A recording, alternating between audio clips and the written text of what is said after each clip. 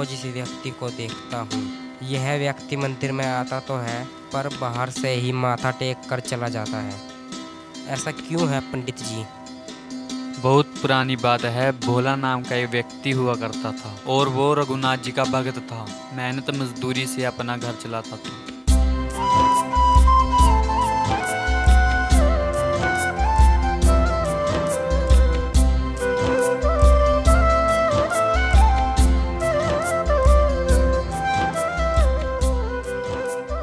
बाबा। हाँ बेटा। आप जानते हैं बहन की शादी है और उसमें कुछ रुपए कम पड़ रहे हैं। बेटा कहाँ से लाऊं इतने रुपए? पूरी उम्र निकल गई मेरी ये रुपए कमाते कमाते बाबा क्यों ना हम सेठ जी से कुछ रुपए उधार ले ले? ठीक है बेटा मैं कुछ करता हूँ।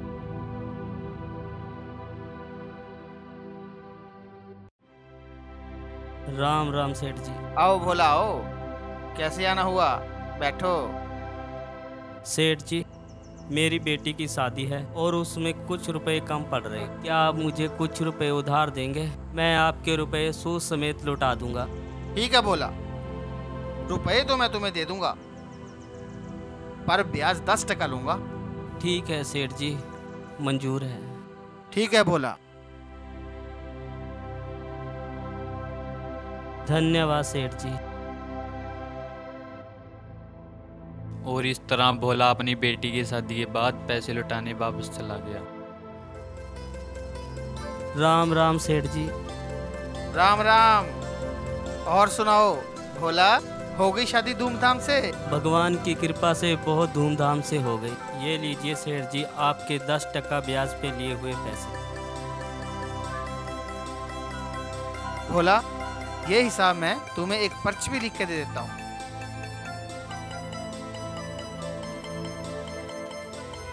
इसे पढ़ लो। सेठ जी मैं क्या जानूं? मैं तो अनपढ़ आदमी हूँ जो जाने रघुनाथ जी जाने। अनपढ़? इससे तो दोबारा कमाई हो सकती है। भोला जरा एक गिलास पानी देना। जी सेठ जी।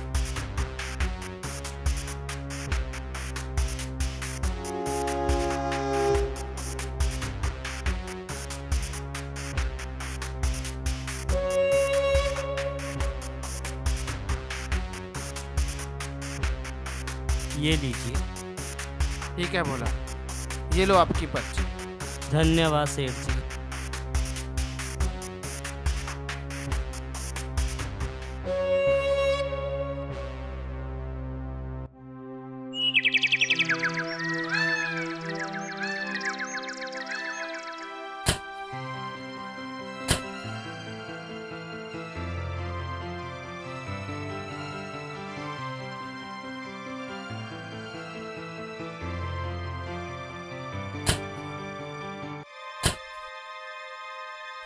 तुम ही भोला हो।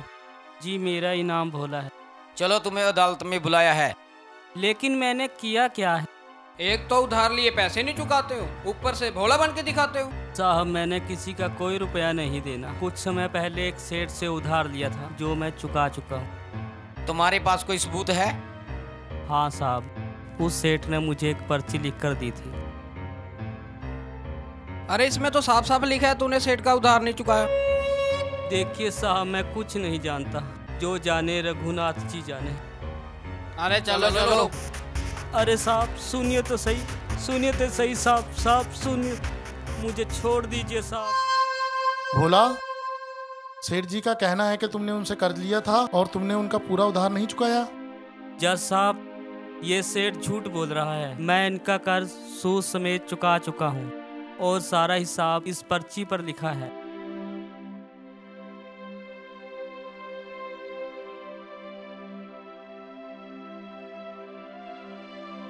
तुमने पर्ची लेते समय इसे पढ़ा था? नहीं जज साहब मैं तो अनपढ़ आदमी हूँ। मेरे लिए तो एक काला अक्षर भैंस बराबर है। जो जाने रघुनाथ जी जाने मैं कुछ नहीं जानता। जज साहब ये आदमी झूठ बोल रहा है। मैंने ये पर्ची से पढ़ के सुनाई थी। भोला क्या ये सेठ सही कह रहा है? मैं कुछ नहीं जानता जज साहब। जो जाने रघुनाथ जी जाने। अच्छा ये बताओ तुम दोनों के अलावा कोई तीसरा व्यक्ति वहाँ मौजूद था? जी जज साहब।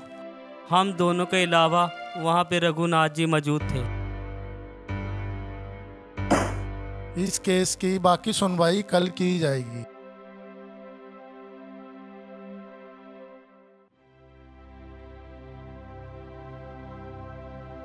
भोला आदमी तो सीधा साधा है। आ, मुझे तो नहीं लगता वो ऐसी चलाकी करेगा। ये तो अब वो रघुनाथ ही बता सकता है क्या सच है और क्या झूठ है। उसे ही अदालत आना पड़ेगा।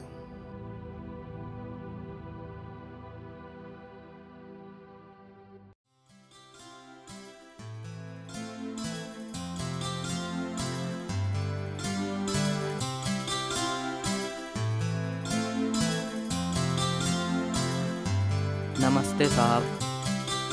सुनो ये चिट्ठी रघुनाथ तक पहुँचा दो। जी साहब।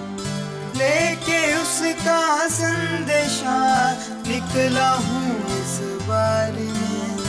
इसका ना कोई ठिकाना ना कोई घर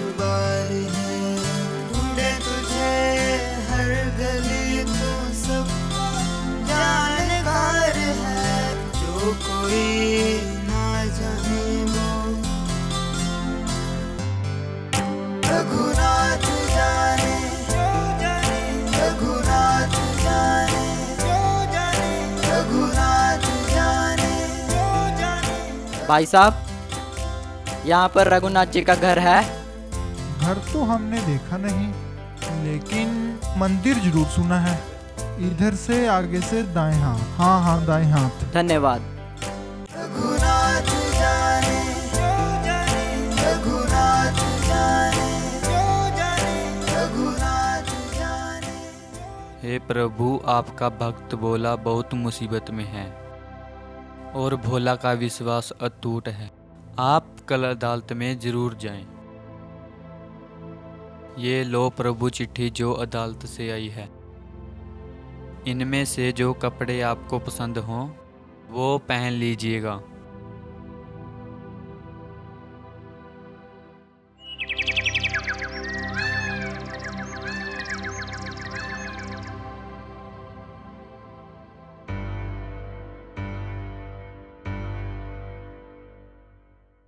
क्या तुम उस रघुनाथ को जानते हो?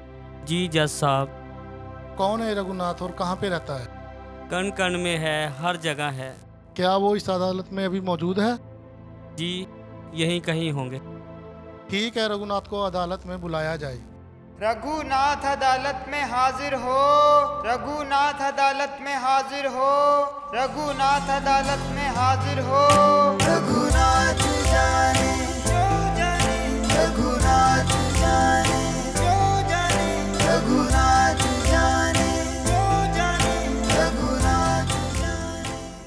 क्या आप ही रघुनाथ हो? जी हाँ मैं ही हूँ। जिस समय भोला ने कर्ज लौटाया उस समय आप वहाँ मौजूद थे? जी हाँ मैं मौजूद था। क्या भोला ने सेठ का पूरा उधार चुका दिया? जी हाँ लौटा दिया। तुम्हारे पास क्या सबूत है? जज साहब आप इस सेठ को यहीं रोक कर रखिए और अपने सिपाहियों को भेजकर 24 नंबर खाता देखने को कहिए। उसमें आपको हिसाब की वो पर्ची मिलेगी जो इस सेठ ने धोखे से बदल दी थी। जाओ और पर्ची लेके आओ। जी साहब जी साहब। अरे कहाँ पे होगी ये पर्ची? ढूंढो ढूंढो यहीं पे होगी। देखो ये तो नहीं। यही होगी चलो।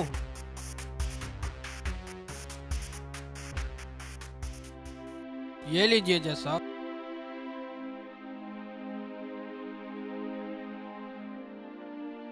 इसमें लिखा है कि भोला ने मेरा सारा कर्ज लौटा दिया और उससे मेरा कोई लेन देन बाकी नहीं है।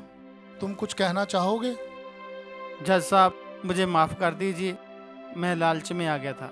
सारे सबूतों को मद्देनजर रखते हुए ये अदालत इस नतीजे पे पहुँची है कि भोला बेकसूर है और इसे बाइज्जत बरी किया जाता है और इस लालची सेठ को धोखाधड़ी करने के जुर्म में पाँच साल की सजा सुनाई जाती और ये अदालत यहीं बर्खास्त की जाती है। क्या ये रघुनाथ वही व्यक्ति था जिसे तुमने चिट्ठी दी थी? जी नहीं जज साहब ये वो व्यक्ति नहीं थे। मैंने तो चिट्ठी मंदिर में पंडित जी को दी थी। कण कण में है हर जगह है। जी यहीं कहीं होंगे। जिनकी अदालत में सब जाते हैं वो मेरी अदालत में आई। और उस समय वो खड़े थे और मैं बैठा था। नहीं नहीं मुझे इसका पश्चाताप करना पड़ेगा। और अंत में जज साहब ने अपने पद से इस्तीफा दिया। और सन्यासियों की तरह जीने लगे।